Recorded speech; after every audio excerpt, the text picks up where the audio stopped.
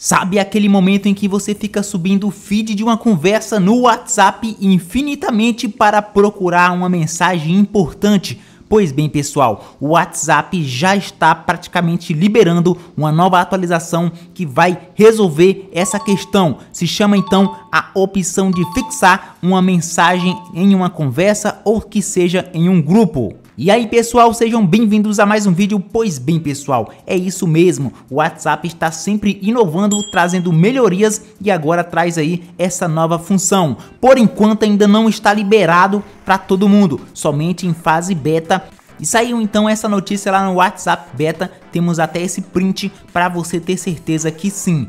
Se trata de novidade que tá para ser liberada e promete, pessoal. Agora chega de estar tá procurando mensagem, você pode sim fixar uma mensagem importante para você depois acessá-la e aí não ter dor de cabeça para achar aquela mensagem importante. Até agora sabemos que ela vai funcionar aí em grupos, né, em bate-papos ali em grupos, é, grupos específicos e também ali em conversas individuais, tá? Então é uma função que vai te permitir ali, clicando na mensagem, vai aparecer algumas opções, inclusive no caso a de fixar, né? Ali a opçãozinha de fixar. Então realmente é uma novidade interessantíssima das últimas atualizações do WhatsApp. Essa é uma função que todos estavam aguardando. E aí, comenta aqui embaixo o que, que você achou. Se você vai utilizar realmente essa função, comenta aqui embaixo. E aí, para você não vai ter utilidade? Comenta aqui também. Então é isso, qualquer novidade do WhatsApp a gente vai trazer aqui. Então se inscreva no canal